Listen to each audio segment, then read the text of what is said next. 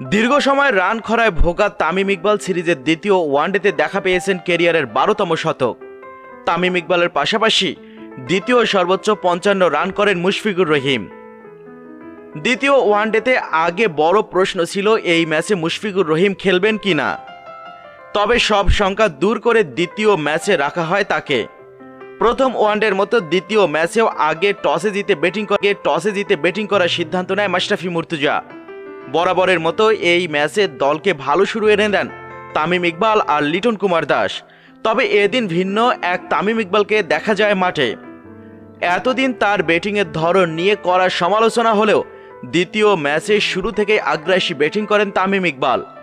তার ব্যাটিং দেখে একটা সময় মনেই হয়েছিল এই যেন পুরনো তামিম ইকবাল ফিরে এসেছেন।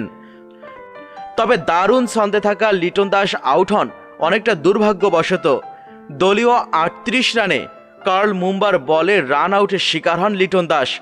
শান্ত শিকার হন রান আউটের তবে দলের ব্যাটিংয়ের হাল ধরেন তামিম ইকবাল আর মুশফিকুর রহিম মিলে। তামিম ইকবালের পাশাপাশি আগ্রাসী ব্যাটিং করেন মুশফিকও। ব্যক্তিগত মাত্র বিয়াল্লিশ বলে ফিফটি তুলে নেন তামিম ইকবাল। দুজনেই বেশ দায়িত্বশীল ব্যাটিং করেন। তামিম ইকবালের পর ফিফটি তুলে নেন মুশফিকুর রহিমও। তবে ফিফটির পর মাদেভেরেকে ছয় হাঁকাতে গিয়ে বাউন্ডারি লাইনে পঞ্চান্ন রানেই সাজঘরে ফেরেন মুশফিকুর রহিম।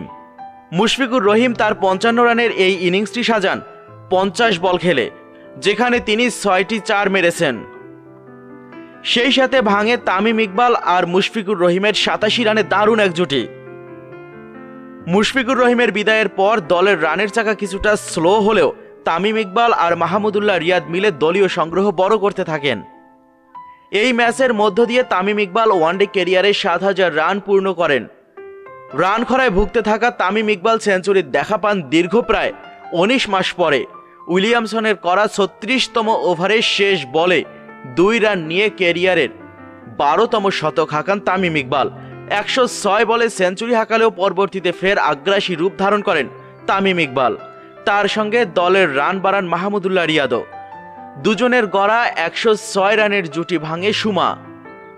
দলীয় দুশো আটান্ন রানে সুমার বলে বাউন্ডারি লাইনে দারুণ এক ক্যাচ ধরেন মাদে ফেরে আউট হওয়ার আগে মাহমুদুল্লাহ রিয়াদ একচল্লিশ রান করেন।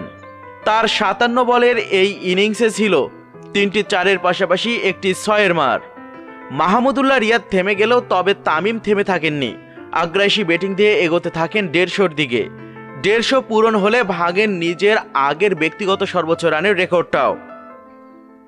আগে এই জিম্বাবুয়ের বিপক্ষেই একশো চুয়ান্ন রান করেছিলেন তামিম ইকবাল।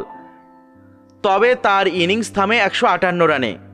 একশো ছত্রিশ বলে বিশটি চার এবং তিনটি ছক্কার সাহায্যে একশো আটান্ন রানের ইনিংস খেলে তিনি থেমে যান। শেষ দিকে মিঠুনের অপরাজিত বত্রিশ রানের উপর ভর করে তিনশো বাইশ রানের পাহাড় সম রানের সংগ্রহ পায় বাংলাদেশ। জিম্বাবুয়ের হয়ে দুটি করে উইকেট লাভ করেন মুম্বা এবং ত্রিপানো।